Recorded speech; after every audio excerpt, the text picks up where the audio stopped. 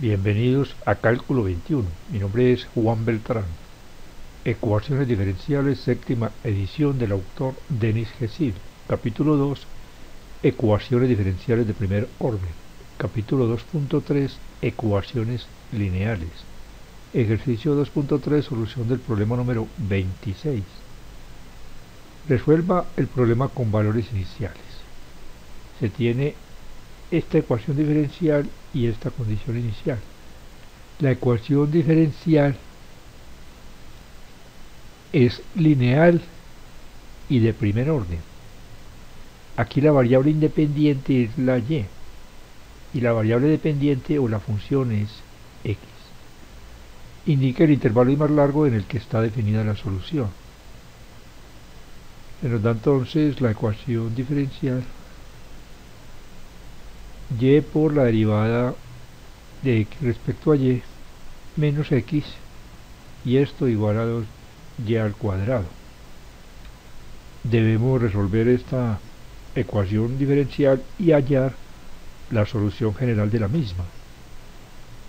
Primero vamos a escribir la ecuación diferencial en la forma estándar. Esto es en esta forma.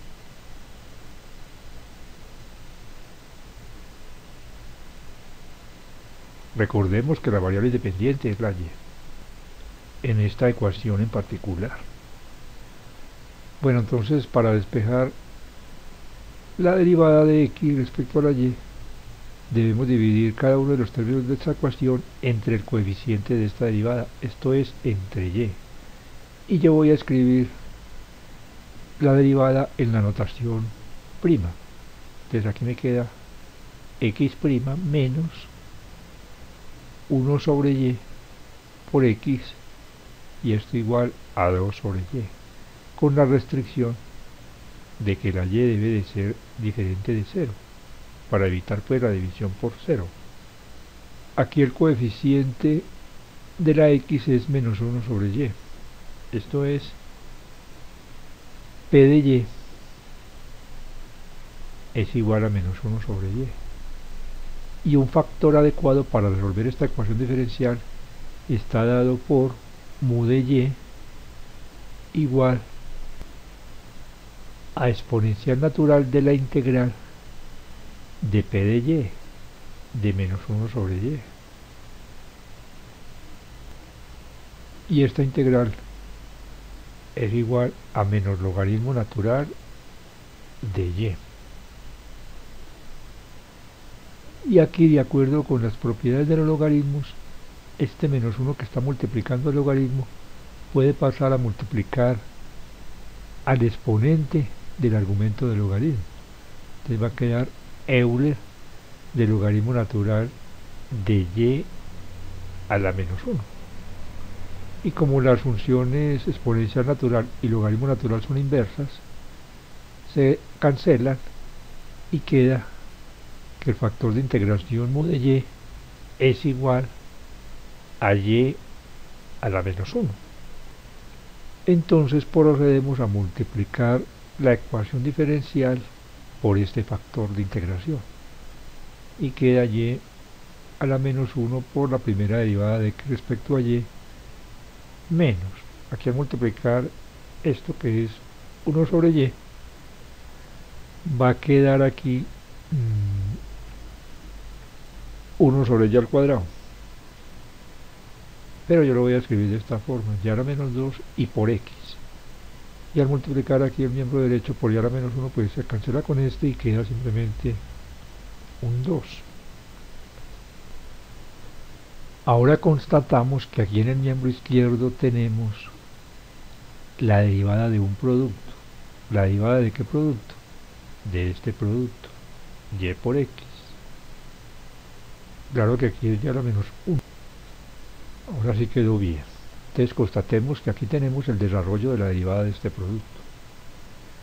La derivada del segundo factor, por el primero sin derivar, más la derivada del primer factor, de y a la menos 1, que es menos y a la menos 2, por el segundo factor sin derivar. Y esto es igual a 2. Entonces, al comprobar que aquí tenemos el desarrollo de la derivada de un producto, escribimos la derivada de ese producto en la forma no expandida. Ahora despejamos lo que tenemos aquí dentro de este paréntesis, integrando en ambos lados de la igualdad. Y queda y a la menos 1 por x igual a la integral de 2 respecto a la variable independiente y. Y eso va a dar 2y más c más una constante de integración. Ahora despejamos la x multiplicando cada término por y, porque y por y a la menos 1 es igual a 1. Entonces al multiplicar aquí por y queda 2y al cuadrado y al multiplicar aquí por y queda más c, más c por y. Esta es la solución general uniparamétrica de la ecuación diferencial. Ahora vamos a deducir un miembro de esta familia que también satisfaga estas condiciones iniciales. Entonces debemos encontrar el valor numérico de esta C, de este parámetro. Se tiene que y de 1 es igual a 5. Pero recuerden que yo estoy trabajando aquí tomando a x como la variable dependiente y a y como la variable independiente. Entonces yo puedo reescribir esta condición inicial como x de 5 igual a 1. Ahora sustituyo acá. Cuando la y vale 5, la x vale 1. Entonces queda 2 por 5 al cuadrado más c por 5. Entonces 5c es igual. Aquí esto me da 50, lo paso al otro lado. Entonces queda menos 49 al reducir pues con este 1. Por lo tanto, c es igual a menos 49 quintos. Y procedo a sustituir aquí. Y obtengo que x es igual a 2y al cuadrado menos 40 quintos de y. Y esta función es un miembro de esta familia que satisface el siguiente problema con valores iniciales. Compuesto pues por esta ecuación diferencial y esta condición inicial.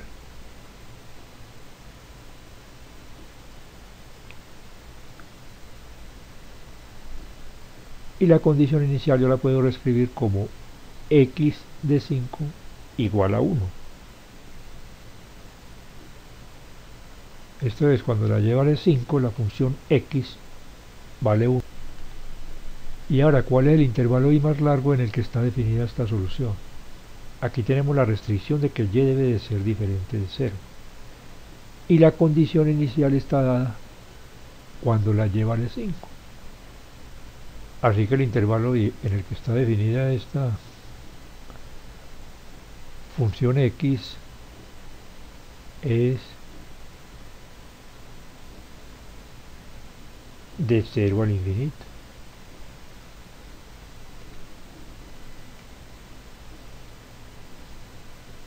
De esta manera concluye la solución del problema. Hasta pronto y ánimo en el esfuerzo por aprender.